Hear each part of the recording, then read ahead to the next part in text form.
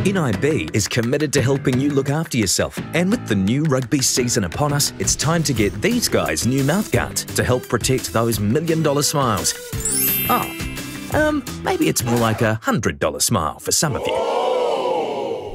A mouthguard protects not only our teeth, mouth, and tongue, but also our jaw and even the base of our skull from impact.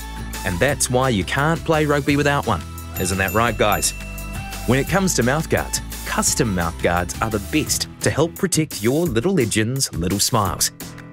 They adapt more closely to your teeth than boil and bite mouthguards to give you far more protection.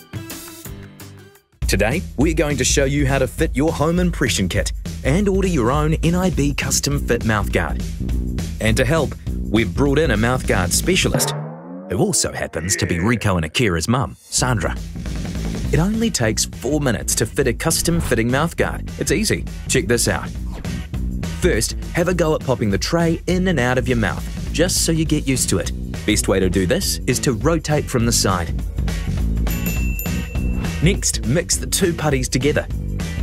It's a good idea to keep these in the fridge before you use them.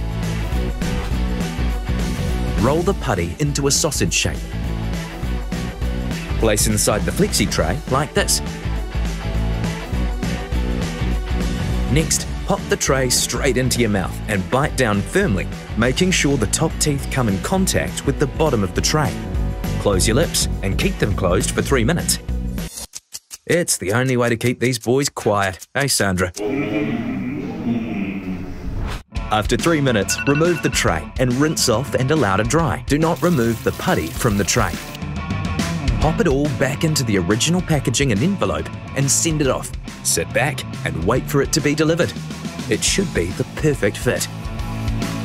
Oh, and thanks, Mum.